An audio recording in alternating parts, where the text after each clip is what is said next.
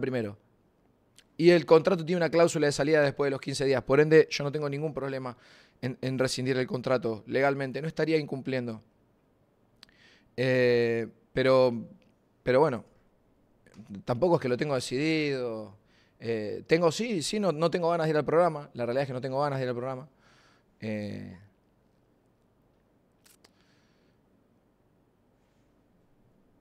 nada, el que, una excusa para irte ahí. Yo no sé